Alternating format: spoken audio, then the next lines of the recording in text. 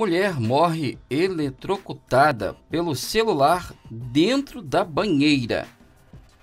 A gente deveria se perguntar: quantas vezes por dia usamos o smartphone sem necessidade real? Já ouviu falar em nomofobia? Não? Então, cuidado com o uso abusivo do celular, pois ele pode causar dependência e apesar de todas as vantagens que o uso destes aparelhos nos oferece, algumas pessoas podem apresentar um padrão de uso anormal. Geralmente, essas pessoas precisam de tratamento.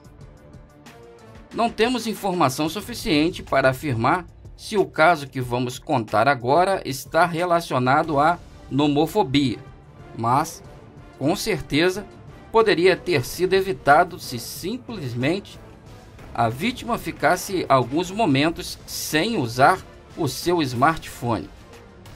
O caso ocorreu na Rússia.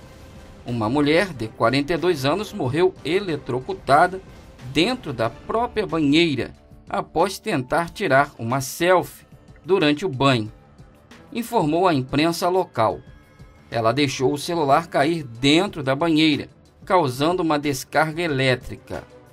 A mulher foi encontrada pelo seu filho, que precisou arrombar a porta após perceber que a mãe estava há horas dentro do banheiro. O aparelho celular estava em cima do corpo e conectado à tomada. Pior que este tipo de morte tem se tornado frequente. Recentemente, uma adolescente de 17 anos manuseava seu tablet também na tomada que acabou caindo na água. Também há informações sobre o caso de uma criança de 12 anos que derrubou um smartphone dentro da banheira durante o carregamento. Lamentável. Participe com seu comentário, sua opinião é importante. Se você ainda não é inscrito no canal, se inscreva e ative o sino. Se você é inscrito, não deixe de ativar o sino para receber notificações sobre novos vídeos. Você também pode seguir o canal nas redes sociais. Os links estão na descrição do vídeo.